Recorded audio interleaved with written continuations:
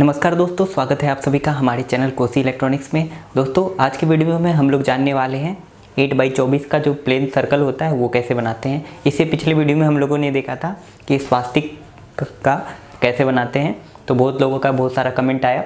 तो मैंने सोचा कि आठ बाई चौबीस का मेरे पास सिंपल सर्कल का भी पड़ा हुआ है तो मैं इस पर भी एक वीडियो बना दूँ, ताकि जिनको भी ये सिंपल वाला सर्कल खुद से अपने घर पर बनाना है तो वो ईजी वे में बना पाएँ। ठीक है?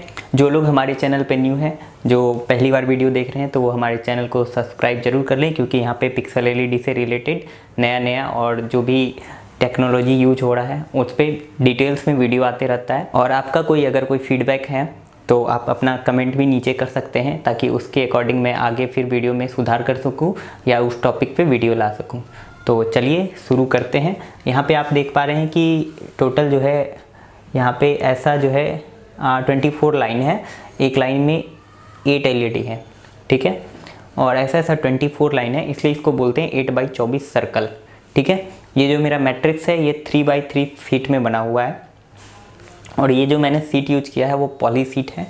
और ये जो है लेज़र कटिंग से होल्ड किया हुआ है। अगर आपको ये सीट चाहिए तो आप ये हमारे से मंगवा सकते हैं। ये आपको कुरियर से मिल जाएगा। ये सीट चार सौ रुपये का पड़ता है, ठीक है? इसमें एकदम आपको होल किया हुआ मिलेगा परफेक्ट एलईडी अच्छे से लॉक हो जाएगा और आप इस एलईडी निकालना भी चाहें तो वो भी बहुत आसान है, ठीक है? और बहुत लोग पूछते हैं कि सर प्राइस भी बताते चलो साथ में और इसमें जो कंट्रोलर लगे हुए, उसके कंट्रोलर के प्राइस है दो सौ ठीक है? और इसमें जो आपको पावर सप्लाई का नीड होगा, या तो आप 10 एम्पियर लगा सकते हैं, या या आप 20 एम्पियर लगा सकते हैं। तो मैंने यहाँ पे 20 एम्पियर का लगा रखा है टेस्टिंग पर्पज़ के लिए, ठीक है? अब हम लोग इसके जो है बैकग्राउंड में वायरिंग में जाएँगे, फिर इससे रिलेटेड डिजाइंस में जाएँगे। ठीक है?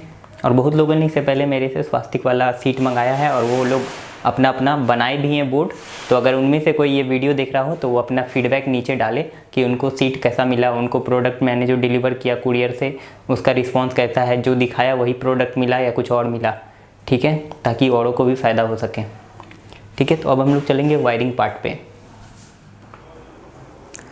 दोस्तों, हम आ गए हैं वायरिंग पार्ट पे तो मैं थोड़ा एक्सप्लेन करना चाहूँगा कि यहाँ पे आप देख पा रहे हैं, ये कंट्रोलर लगा हुआ है मेरा। तो इस कंट्रोलर को अभी निकाल देते हैं।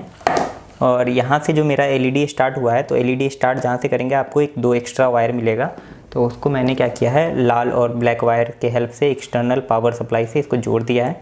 और ये एलईडी आपका जो है, यहाँ से ऐसे लगाना है और फिर ये इधर आया है। फिर इसको घुमा करके ले जाना है। और घुमा करके ले जाने के बाद यहाँ पे फिर ये घूम जाएगा, ठीक है? ये एस कनेक्शन होता है। कहीं पे आपको काट कूट कुछ नहीं करना है, घुमा के ले जाना। है ऐसे करते करते पूरे में एलईडी लगा देना है इस टाइप से और आपको इस टाइप से बन जाएगा। फिर आपको देखिए यहाँ पे दो एलईडी का जॉइंट है और वहाँ पे फिर दो एक्स्ट्रा वायर निकलेगा।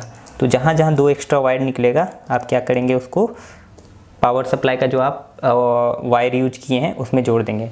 हाँ ध्यान रहे कि पतला वायर यूज़ नहीं करना है। कम से कम 1.5 पॉइंट mm का डीसी जो मल्टी गेज वाला वायर होता है, वो वाला यूज़ करेंगे तो आपका बेटर परफॉर्मेंस रहेगा।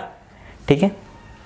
ये बहुत सिंपल ही सर्कल था। इसमें बस ऐसे ही सिंपल कनेक्शन करके जो है, ये लास्ट आपका एलईडी यहाँ बच रहा है। तो इसको कुछ कहीं से कनेक्ट नहीं करना है। इसको लास्ट ऐसे ही छोड़ देना है।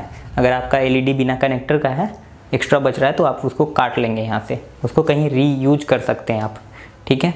तो अब हम लोग इसके डिज़ाइन को देखेंगे और उसके बाद आ, आप लोग को जिनको भी पसंद होगा तो आप हमें ऑर्डर कर सकते हैं या हमारे वेबसाइट से ख़रीद सकते हैं या आप जो है मुझे व्हाट्सअप कर सकते हैं ठीक है? तो और इससे रिलेटेड आपको कुछ और जैसे नहीं समझ में आया तो आप नीचे कमेंट करें। मैं कोशिश करूँगा कि आप लोगों को रिप्लाई देने के लिए।